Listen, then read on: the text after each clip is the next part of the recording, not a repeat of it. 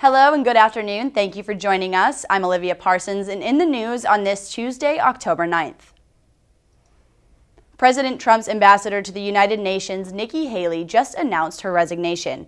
The former South Carolina governor has served since January 2017 and will leave at the end of the year. She does not have any future plans but says she won't challenge President Trump in 2020 and will support him. If you want to vote in the upcoming midterm elections this November, you must be registered by today.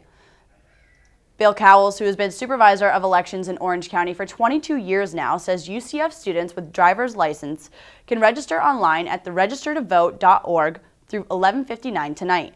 Anyone in the UCF area who wants to register in person can do so at the Alafaya Branch Library located at 1200 East Colonial Drive through 9 p.m. Floridians will have a packed ballot this year with elections for U.S. Senate, Governor, and State Attorney General, along with 13 proposed constitutional amendments dealing with a wide range of issues. Cowles says recent events have shown the importance of participating in the democratic process. Hashtag MeToo uh, campaign, I think, has really sent a message out to students. Uh, I think they've seen a lot of events over the last year that probably are good events to show them that why they should be involved uh, in the election process. For us UCF students, there will be early voting on campus at the Live Oak Event Center near Ferrell Commons in 63 South from October 22nd through November 4th.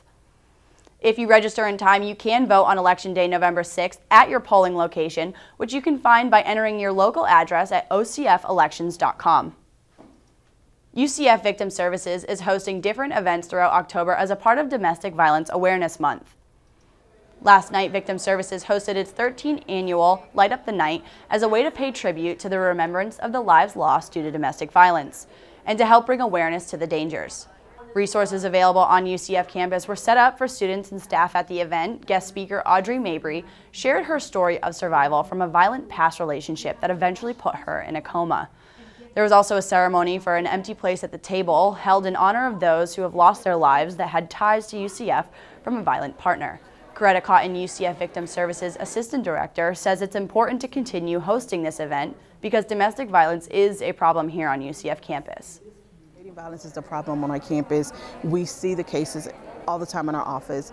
Um, whether a student reports to the police or not, we see cases where people just come in or they call our hotline. So if it continues to be a problem, and so we have to address it. UCF Victim Services' next event will be the sexual assault mock, mock trial held November 5, 2018 in the Pegasus Ballroom. Former UCF wide receiver Tre'Quan Smith helped to break the longest NFL passing record with Drew, Drew Brees.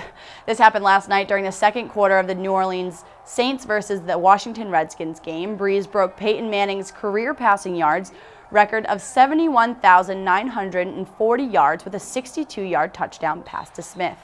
New Orleans and Smith took the victory 43 to 19. Students are finally able to enjoy their study breaks now that temperatures are cooling down. Today, students were able to lay in the hammocks and enjoy a cool breeze after months of temperatures being in the mid-90s. There was some light rain, but not enough to keep the students from enjoying their lunch outside. It was slightly overcast this morning, but the sun is still making its way out for a beautiful day. Students can enjoy outdoors. Hurricane Michael is making his way through the Gulf of Mexico. Overnight, he intensified to a Category 2. However, he's expected to strengthen to a Cat 3 by the time he hits Florida tomorrow afternoon. Governor Rick Scott is ordering mandatory evacuations for 35 Florida counties from the Panhandle to Tampa Bay. Hurricane Michael is expected to make landfall by tomorrow with wind speeds up to 111 miles per hour.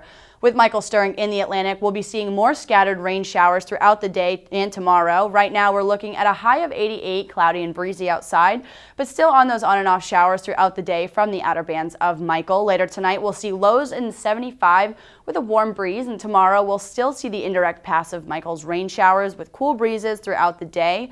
Highs will be in the upper 80s at 87 degrees and a low of 76. We'll keep you updated throughout the week on Hurricane Michael and any changes that might occur. And that's all the time we have for today. Thank you for watching and make sure to keep up with us throughout the week by following our Twitter page at UCF Knightly News and tune into our webcast this Friday, 1 p.m. on Spectrum Channel 734. I'm Olivia Parsons. Have a great Tuesday.